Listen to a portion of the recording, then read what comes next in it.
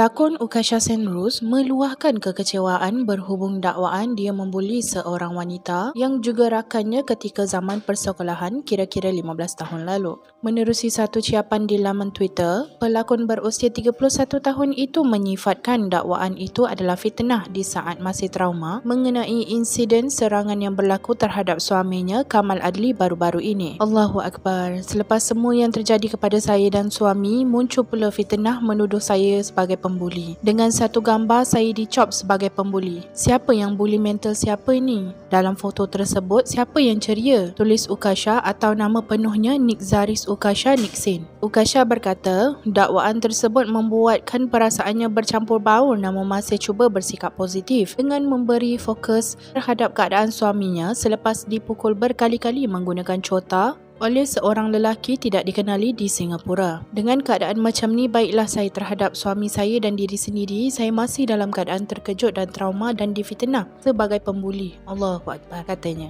Pada masa yang sama, pelakon drama perempuan tanpa dosa itu akan menyerahkan perkara berkenaan kepada pihak polis bagi melakukan siasatan lanjut. Kepada awak yang menabur fitnah, kita akan bertemu nanti. Jangan risau, polis akan siasat segalanya pasal awak. Allah itu maha besar. Awak boleh menyekat akaun saya selepas ni. Tetapi, semua perbualan dan maklumat kami dah dapat. Dunia ni kecil tulisnya lagi. Terdahulu, pengguna Twitter, Imzawani mendakwa dirinya pernah menjadi mangsa buli Ukasha sehingga mengalami kemurungan dan terpaksa berpindah ke sekolah baharu bagi memberi fokus terhadap saja pelajaran Malaysia. Sejak bila saya pembuli?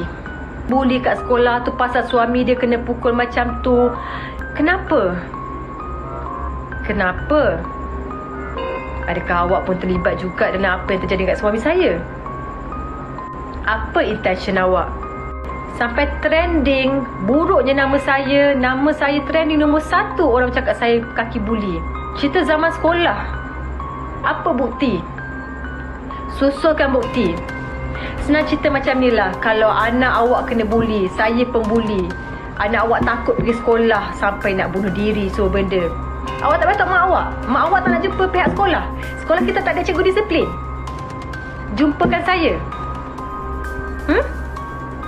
Di otak singkat ataupun kurang bijak untuk jadi followers konon-konon nak nak apa? Nak nak backup jangan dengar sebelah pihak. Sekolah tu pun masih lagi wujud.